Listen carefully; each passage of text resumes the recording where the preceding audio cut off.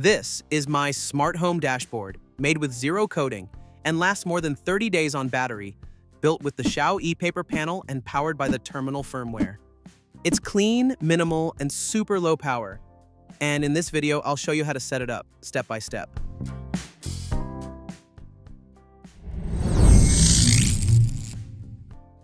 First, let's talk about the hardware. The Xiao e-paper panel from Seeed Studio comes with a large 7.5-inch black and white e-paper screen, housed in a sleek 3D printed enclosure. There's a kickstand in the back.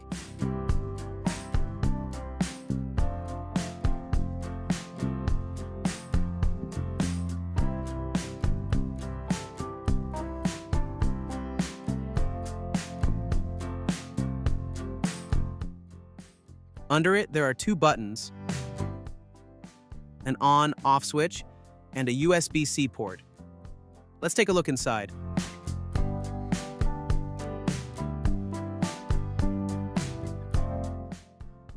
We will need a thinner screwdriver for the bottom screws.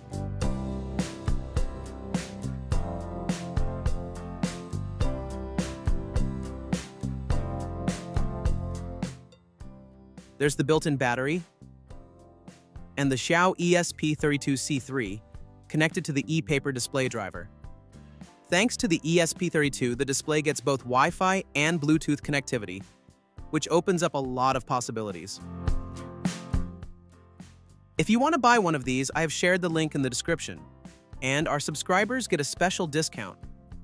I initially planned to write my own dashboard code, but then I discovered TRMNL, and honestly, it's impressive. It's a ready-made firmware you flash onto the device.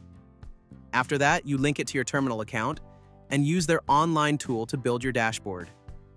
The TRMNL firmware is free and open source, and they give you an option to use their services on devices other than their own. For this, you need to purchase their BYOD, that is, Bring Your Own Device license. I'll leave a link in the description. Purchase this license and you'll get a device code. Next, head over to the device claim page and provide the details and claim the device. Now let's set up the display with TRMNL. Go to TRMNL's online Flash Assistant. Here, select your device. I'm using the Xiao e-paper panel. Then select the firmware version. Then plug in your device and click on Connect. Select your device from the list and select Flash Firmware.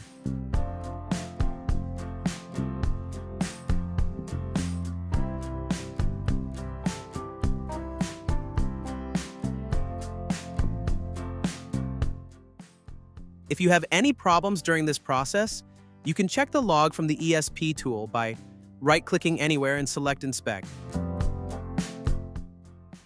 Here you can see the logs. And also, we can get the MAC address of the device from here, which we will need later. So here hit Control F and search for MAC. You will find your MAC address. Save this somewhere. Once the firmware is flashed, on your phone or computer, open the list of available Wi-Fi networks. Look for a network named TRMNL and connect to it. No password is required by default. Once connected, open a web browser. The device should automatically redirect you to the TRMNL configuration page. If it does not, manually visit 192.168.4.1 in your browser. On the configuration page, you will see a list of available Wi-Fi networks. Select your Wi-Fi network. Enter your password. Click on Connect.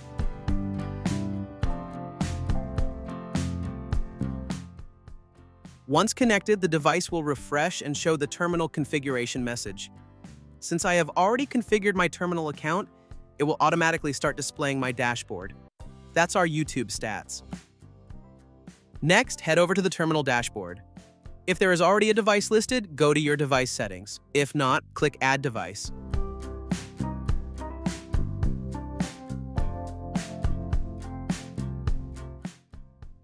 If your device ID is not already updated here, update it, and scroll down to the MAC address section and update the MAC address that we saved earlier. Set the refresh rate of the display. This is the interval at which the display updates. At 5 minutes, it claims to have about 30 days of battery life, and at 60 minutes, up to 320 days. Then, turn off both firmware early release, and OTA updates enabled. Click on Save. Next, head over to the plugin section. As you can see, I have already connected some plugins.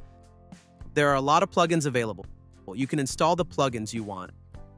And there are also recipes. These are plugins created by other community members. You can install these too. And the best part is, you can create your own plugin too. Once you have selected all the plugins you want, head over to the playlist section. All the plugins you selected should be added here automatically. If not, click on Add Plugin then select how you want it to show. Full screen or share the screen with another plugin. Let's say half screen. Then select which two plugins you want to show.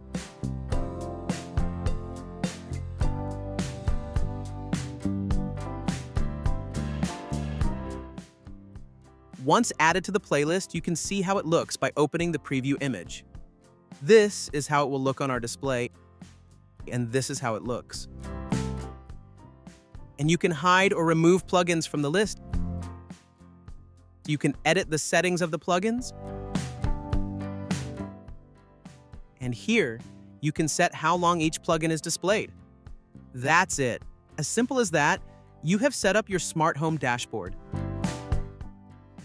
It might not be obvious from the video, but something to note is that e-paper displays are slow to refresh.